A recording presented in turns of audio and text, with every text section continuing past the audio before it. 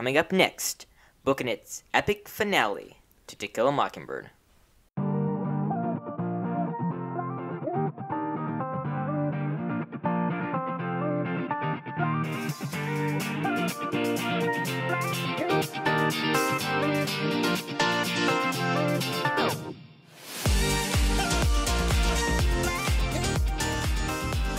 Hey everybody, and welcome back to Booking It. I'm your humble and eloquent host, Cooper Cobbs, and joining me today are two of our three panelists, Matthew Killingsworth, Howdy. Isaiah Recci, Lee. and fortunately, Tanner is not here with us today. No, But- he is not. The show must go on. Also, guys, I really hope that you enjoyed the first episode of the screening. If you haven't, go ahead and head over there on Apple Podcasts or any of your fa- favorite, favorite podcasting app or YouTube and make sure you check that out. We're really excited. We think it's going to be a good podcast. Um, here we are, episode four, our first ever fourth episode on a book. We probably could have done four on Warden and the Wolf King, honestly, but yeah, here we are, Chicken Mockbird Part Four. Should we get into it, guys? Or Yeah, I No, I, think we should just stop right now. thanks for the encouragement. do, do we have any any more banter, or are we good? This podcast has never been good at banter. I think we need to get better at that. But yeah, I think I don't. Yeah. I No, don't. we actually we actually uh, were worried about not getting enough good good information for three or good content for three full episodes. But turns out we needed to do an extra fourth one because Yeah. Hey, we had a lot more to say about. This is episode thirty. Oh no wow. way! It's 30, 30 whole episodes. almost almost thirty straight weeks. I think it's been like twenty seven straight weeks. Okay. Oh, because we did take a one week break at one point. Yeah, we did. Actually, no, because the uh, episode that shall not be named that has now since been deleted. Remember, we released that one. No, actually, I don't. I actually don't remember that. Apologies and updates. Oh, I said it. yes. Those of you who may not know, in between episodes two and three, we released like a two minute. It was just me, and it was a very like a it was like a mournful tone. I was It was pretty bad. Sorry, Oh man. don't have an episode. that was terrible. I actually forgot Yeah. about it. yeah, we deleted it. Oh yeah, yeah. It was way better to just show up with no episode than for y'all to hear that. It was pretty bad. And plus, we basically it was like the updates part of it pretty much got scrapped Yeah, And the next. it, episode, it was so- completely inaccurate because we changed our decision afterwards. Yes, so it was. Yeah. It was. It was yeah. we- it shall not be mentioned. regardless, we are a lot uh, w- m- more well trained and well more experienced now. That didn't really make sense, but you know what I Anyway, meant. talk pretty. yeah, much more eloquent. we now. eloquent here. anyway, episode four. We're gonna be focusing mostly on the trial today, since we didn't get around to it last episode. the trial. So before we kind of yeah the trial. So before Coop- we get Cooper into, wants to give everybody a word of warning, you know, for all the young listeners. Oh yeah, yeah. he, he usually yeah. likes to say it, but I wanted to say it so he couldn't. Yes, Matthew often does this to me. Anyway, um, trial scene. So before we get more specific, anything you guys want to say about the trial? Mm, Let's get more specific. All right. So mostly it's going to be focusing kind of as a result, and we're not going to be talking directly about the trial, but we can too. So, first question: Do you think that Atticus was an idealist to firmly believe in the integrity of our courts and in the jury system? And that was a direct quote, by the way. well, I guess that's. Yeah, it's it's kind of part of a lawyer's job, right? I mean, I, I just feel like in all books where there's a lawyer, that the lawyer is always like, the courts the courts are like, that's what makes America. Like the the courts settle all Yeah. things. They are fully The just. great equalizer. and I feel like yeah, they definitely praise them more than courts actually deserve, especially in this book Yeah. because obviously they don't uh, they don't set Tom Robinson free. They convict him just because a white man is uh, is uh, what what do you call it lawsuiting him. Well, he's being prosecuted. Yeah, he's is prosecuting him, and that's literally the only reason. Because nobody, like it, it said in the book, nobody actually thought, like there was no doubt in anybody's mind that Tom Robinson was innocent. Like the way Yeah. the trial went down, it was entirely clear, and um, they still sided with Mr. Ewell because he was Ewell. white. Yeah. So it definitely, I mean, regardless of what Atticus thought, they are not perfect. Yeah. And that's But also again- that's true in real life too. I mean, I think we, it wasn't this week, but it was last week. Tanner's mom uh, was talking about how you know, she was part of a jury, and they convicted a man who was accused of domestic abuse, and like there was no doubt in any of the jurors' minds, right? Mhm. But like staring that person in the face and knowing that you sent them sentenced them to prison, uh, you know, and you're like, and she she said, did, did you see where I, I, I my where my car is parked? You know, did, did you follow me home? It's kind of scary, is what she Yeah. said. Yeah. So we think and about that's that, and and that's actually like when she was making the right decision. Can you imagine convicting someone Yeah, who is exactly. completely innocent, staring them in the face and saying, "I know you're innocent, but I'm gonna send you to jail for the rest of your life." And Yeah. yeah, that's even. But even then again, that's even yeah. worse. it, it is it's true. I mean, yeah, it's like if you didn't believe that the court was going to be fair, why would you even do it? Like if you were trying to defend someone, you thought the court was going to be unfair against them. Like why would you even take the job or anything Yeah. or Oh, try well, to do it? In Atticus's case, that's he just had to. He said he said he knew from the beginning that he had a very very small chance. I think he actually Mhm. might have used the Oh, word yeah, yeah. impossible Yeah, he at some said- point. Yeah, no, But- Scout asked Yeah. him, "Do we have a chance?" And he said, "No." Yeah, exactly. He said he had no chance, and he was right, but he still had to do it. He still had to try, just for Tom Robinson's sake. So Jem also said this after the trial: Christian judges and lawyers can't make up for heathen juries. What do you guys? Why do you think we have a jury system in the first place? So it's not one man deciding the entire thing, Yeah. Mhm. or one man or woman. um, Yeah.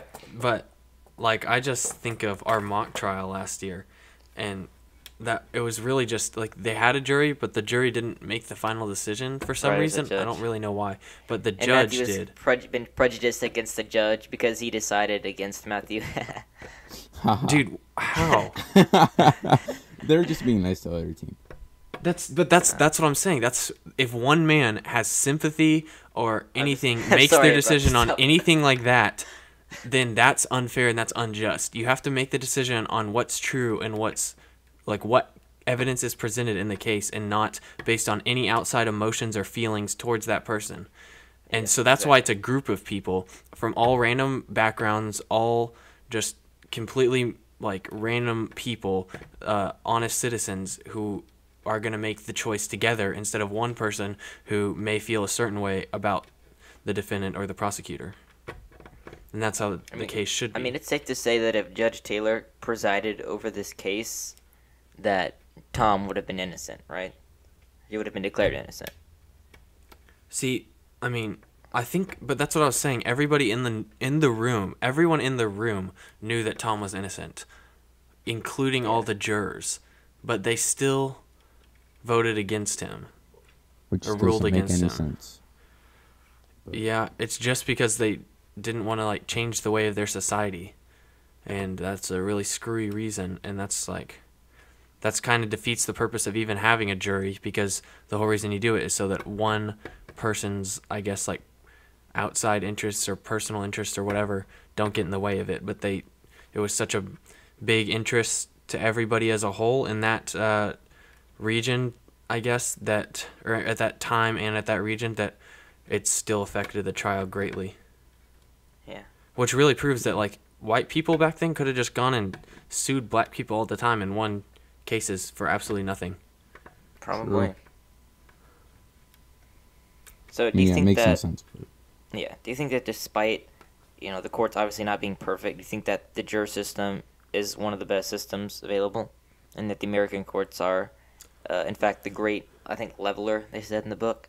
Uh I mean God is the great leveler and the greatest court and the most just judge that there can be. That's right. But as far as uh, a human devised system on like a level of fairness and how often it's fair, I guess you could call it the rate of fairness. Um, I I would agree that yeah, America has one of the most powerful court systems and uh, definitely the one of the best working. Not that I know a whole lot of other ones. Not now that I think about it, but That's true. That's I guess I can't we're like still kind of arguing judge versus jury here. yeah. But I mean, as far as judge versus jury, I definitely think jury is a better option than just a judge. Yeah, I definitely think that too, because like less of a chance of them being biased with a jury, because there's a lot of them there to do it. Um, but with a judge, it's just one person has to decide, and if let's say that judge knew the person that he was going to convict or like say that they were innocent, then it could affect how the whole trial goes. Yeah. But with the jury, there's way less of a chance of that. Definitely. So a lot of times the judge, like Matthew said, have less bias, or Isaiah think Isaiah Isaiah said it. Sorry, will have That's what less bias. Do you think that's something to take into consideration? You still think that having the people decide is still more of a uh, strength of the system? I mean, I think that it's just better of a chance of it being like, or um, a lot less of a chance of it being biased with many people in a jury. And, and plus, in capital punishment, it does ha- it does have to take a a, a unanimous right. unanimous yes, vote. it does. Capital Kinda I punishment said does. unanimous. But okay. that then again, weird. like no no court system is ever going to be perfect. That's devised Yeah. by man. Like even the highest, like most uh, well thought out, planned, like Supreme Court. Right. Like when when I when I learned how it worked, my dad was explaining it to Even me because he's Court. a lawyer and he knows about stuff like that. And he was he was telling me about how it works and that they appoint them for life. So they are a Supreme Court judge or justice until they decide to quit or until they die. Um, those like you they cannot be fired. No amount of you know presidents, vice presidents, senate votes, whatever. Nobody can remove them from that position so that they have no reason to be biased and so that they don't have to worry about like some powerful person them them like rejecting the powerful person's uh, po- point of view i guess and then getting you know destroyed by the powerful person be- because of whatever influence he has. But that then so i was like that's pretty genius. Why don't we do that for all courts and they'll all be perfect? And he was like well it's still unper- it's still imperfect even then because to get to the supreme court you you're gonna have like supporters and people helping you along, donating and whatever, and so like it's a possibility that justices will still be biased towards like maybe they get a case and one someone that donated a lot of money to their campaign or, or like something they support calls and says, "Well, I need you to rule this way on the case. Remember all that stuff I did for you? Remember when I've helped you out?" And then they'll so I mean, it's not perfect anyway. Like any way you can think of it, it's not going to be perfect. But I think Yeah. that America's way of resolving uh, issues is definitely one of the best. So obviously, after the court, after a little while, uh, Tom decides to make a break for it, and he uh, he gets killed. Like ran while he was in in prison. Why do you think that Tom ran in the first place? he was in prison and he he didn't deserve to be there. And I guess he he weighed his options and he basically ignored everything that Atticus told him about him still having a chance to be freed at the Yeah. appeal and he was like my two options stay here the rest of my life and live a terrible life in prison or just risk the chance of dying to see if I can escape and he decided that he didn't want a boring prison life the rest of his life that came to nothing he wanted to have the chance of freedom at all costs even if it meant he would die trying and he did die trying Do you think that it was? You you think he did have a good chance? I think so. I mean, if it was a new group of jurors, and I, I think honestly he, I don't know about a good chance, but he definitely had a chance. I would, I mean, I would at least wait it out, and chill out in prison for like a month or whatever until the appeal, and then at least try that. And if that didn't work, then maybe I'd run for it. But I mean, I, don't know. I would have definitely waited for the appeal. But I mean, I can't. You can't blame Tom Robinson. He was desperate. He he was confused everyone was treating him unfairly when all he wanted to do was help out a poor farm girl whose dad beat her all the time. Yeah. Do you think though that um that um oh yeah sorry so, so I think it was Heck Tate, uh, Yeah. the uh, sheriff said What a name. that um sh- yeah that shooting Tom was the same thing as like shooting a cripple. Do you, do you agree with that? Well, I don't. Well, I don't think it'd be like really the same thing as that, because a crippled person is obviously No. someone who's like legs like or arms don't work, and um, I think Technically, one of his arms doesn't work. wait, it doesn't? No. Oh, that's right. Oh yeah, so I guess he would be shooting a cripple. It Yeah. it it was a weird way to say it though. Like Heck Tate was like, it would be like shooting a cripple. No, it would literally be shooting a cripple because if his arm doesn't work, then he's basically a cripple. So I don't Mhm. know. I guess I agree. Sure. How about you, Cooper? Yeah, I mean, I don't know. I'm, I'm, uh, I mean, he was running, and he was told to stop, and I mean, I, I feel bad, obviously, if I was, and I would feel bad that he was shot, but I don't know what I would have done if I was a police officer there, an officer, what I would have Right. done. So, I don't know. I mean, yeah, uh, sure, shooting a cripple, but a cripple who is, I don't know, acting. Right. It's it's a I complicated It's a case. question. A cripple who was Mhm. running away from prison where they were supposed to be, even though the the decision to put him there was uh, wrong. So it was, yeah. Right. But from from the from the But then from the it's like- prison so- guard's point of view, if a prisoner was running away and you told them to stop already, then I guess you like you're just supposed to shoot him. So that's all. That's what he was supposed to do. I guess that guy. It's Yeah, really exactly. It's really the the court's fault. It's really the judge and the jury's fault. Mm-hmm. Yeah. but it's also I mean it's also Tom's fault. I mean I don't want to put too much blame on him. He was under immense pressure, but he had a good chance in the appeal, and he threw it all away. He threw Right, his- that's what I was saying. know, that's what I was it was saying. Wait till the wait till the appeal at least, and then if you want to run after the appeal, then why not? But might as well try your luck at the appeal because worst case you're just gonna go back to prison. Yeah. But um, I remember all these, you know, cases of these these black people getting shot by police officers. Right, there was that one case where the guy You're talking about like last year. He was being arrested by an officer. Yeah, yeah. We don't. But anyway, he's being arrested by an officer, and the officer told him to stop, but he reached and he reached in his Mhm. car for something, and the officer shot him, and they called it racist. Yeah, I'm like, no. no. He he was told to stop.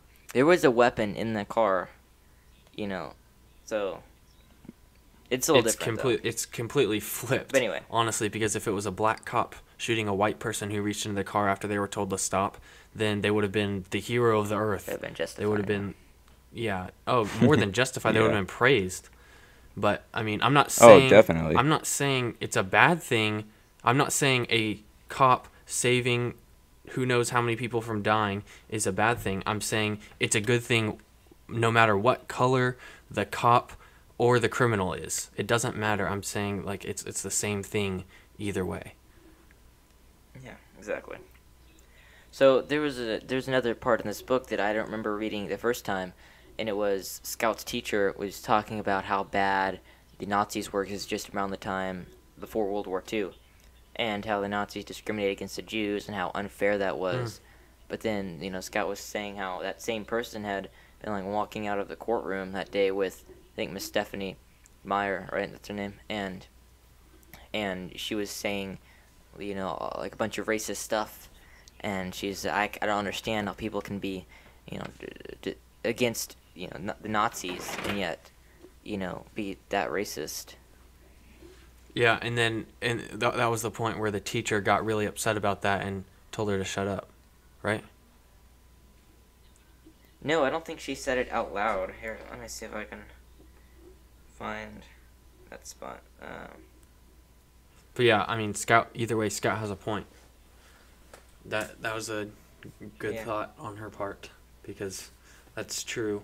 All men are created equal means all men are created equal. There's there's no conditions. There's no exceptions. It's just it's as simple as it can get. And yet, I don't think anyone has ever taken it that simply. And there's always something else that you know gets thrown into the mix. I guess either way it is. Um, also, there's another interesting thing. It said that even though a lot of the townspeople despised Atticus for what he did with, in defending Tom Robinson, they still reelected him Yeah. to the state legislator unanimously. Yeah, no, that was weird. and you're like, hold up, why do you think they did that?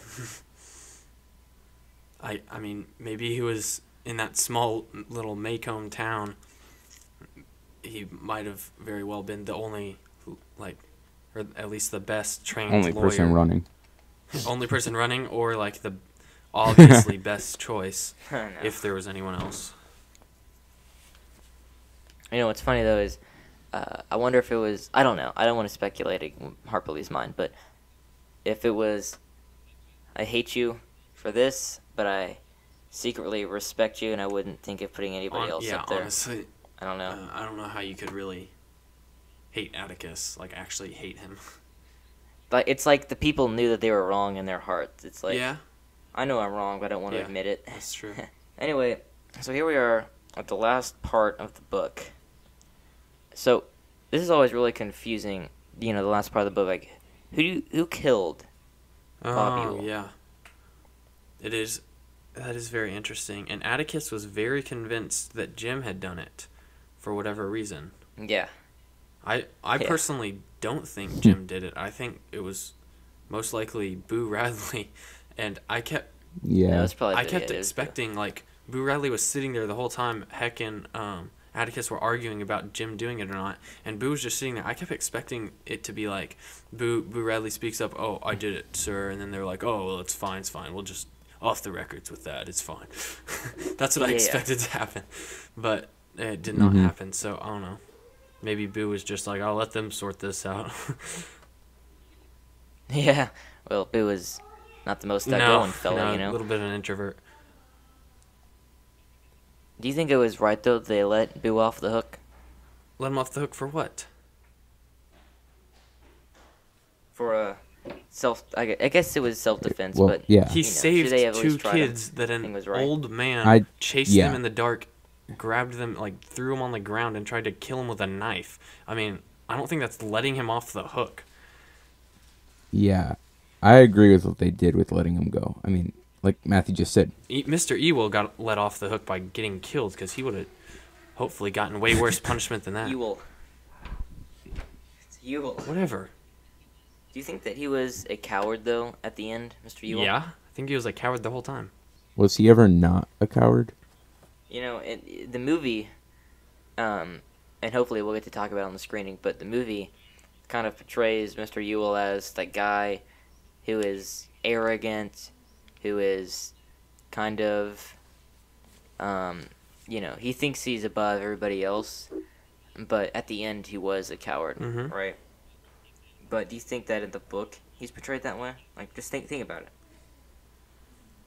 No, I I'm I, not trying to. I always thought of him as like I think you used the word or used the phrase "scum of the earth" to describe the Ewells um, in Yeah. one of the former episodes, and I think that up until the trial point, everyone like I guess knew who he was, but they like he was kind of like that guy that like you think about Mister Ewell, and then you're like, oh, I want to stop thinking about him, or like something like that, and like because I feel like it's it was like it was almost like a little um show off type thing for one of better words. Like he was just trying to get some attention you know put put the spotlight on himself a little bit so that everyone knew who he was and also like throw a black guy in jail just because he was mad. I, I mean i don't really think that he thought he was better than everyone else. I thought he seemed kind of like insecure and just trying to get some attention from like the whole town that's what that's what I thought.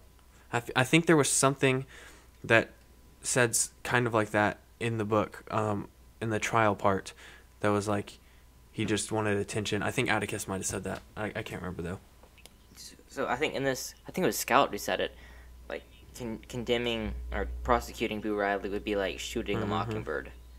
Do you feel like that's more of a stretch, or do you think that's accurate? I think it's pretty accurate. Yeah. I mean, yes, but You don't think that he should have at least been tried for doing what he did? what did he do? Kill Bob Ewell? I mean, like we just said though, it was to defend. I thought you were talking about Tom Robinson. My bad. Um. Oh, No. to be tried. Uh. I don't think he should have been put on trial or anything for that because he was defending two kids from someone, and that was the only thing he could Yeah, do. I, I want to agree with that, but I mean, it kind of is the law, even in that case, to go on trial for it, right? I mean, True. you, nobody's going to get away Yes. with killing anybody for any reason without going to court for it, unless, of course, you're like in a war. In anyways, but uh, yeah, no, I think I mean, like it's kind of scary when you think about it. like if you if you if you agree with our belief here, you're saying yeah, killing a person, no matter for what reason, is and trying that person is kind of like shooting a mockingbird. You know. Yeah. It, I mean, that's a bit of a Yeah, I don't think trying him.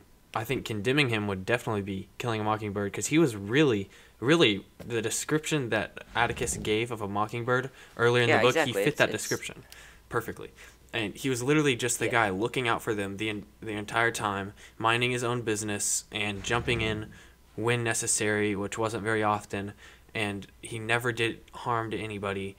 He was just he had you know people told stories about him, but he was really not a bad guy. And to condemn him Yeah. for defending two little kids, even if someone did, even if the attacker did end up dying in the process, then uh, condemning him for it would definitely be to kill a mockingbird.